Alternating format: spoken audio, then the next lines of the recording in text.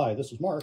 And this is Rob. We're from VPG Transducers, and today we wanted to talk about the Sensortronics S-Cell Model 6001. This S-Cell comes in capacities from 25 pounds to 20,000 pounds.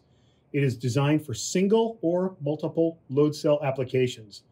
This particular unit is in alloy steel, but it also is available in stainless steel. It is NTEP and OIML approved. Mark, some of the benefits of this load cell, please.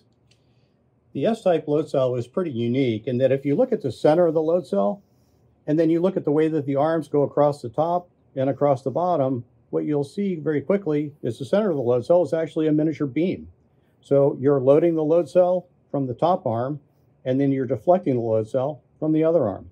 It's important when this load cell is used to have the cable oriented with the same orientation as the label. If the load cell is used inverted, it'll certainly work. But you see here, if we look at this and we remember that it's like a shear beam load cell in the center or a bending beam load cell, the cable drag can actually be pulling down and can affect your readings. So it's important to keep it oriented with the label. Thank you, Mark. Any questions on the Sensortronic 6001 S cell or any other VPG transducers load cell, please contact us at vpgtransducers.com. Thank you very much. See you soon.